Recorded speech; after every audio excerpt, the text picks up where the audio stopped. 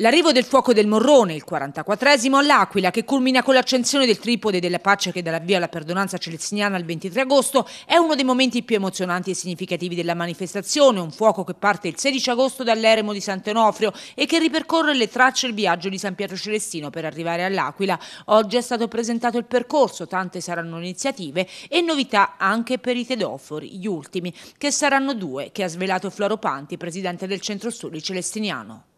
eh, quest'anno eh, anticipiamo quello che è stato 40 anni fa il corteo della bolla, iniziamo proprio 40 anni, eravamo già alla quarta edizione della Campestina della Perdonanza e della Fiaccola nel 1983 quando iniziammo, quindi un particolare riferimento lo faremo lungo il percorso a questa, a questa ricorrenza in sostanza. E chi lo porterà? Lo porteranno due persone che eh, all'epoca, nel 1983, uno era un ragazzo che portò la fiaccola nell'ultimo tragitto, Italo e Torre, che adesso non sta più qui all'Aquila, io l'ho rintracciato e praticamente verrà qui e sarà uno dei due tedofori. L'altro, in omaggio a quello che è stato il sindaco dell'epoca, Tullio De Rubeis, che eh, istituì la perdonanza dell'era moderna e fu ed era presente lì al,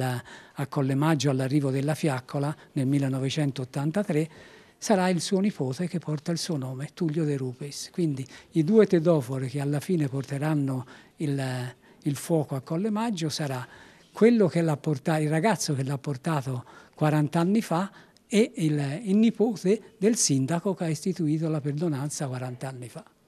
Beh, è una tradizione addirittura più antica della perdonanza moderna e quindi siamo veramente orgogliosi di celebrare questo momento. L'appello ai giovani che devono sentire loro questa, questa splendida manifestazione e unirsi, avere sempre più tedofori giovani sarebbe un segnale molto importante del nostro territorio anche al di fuori di questo.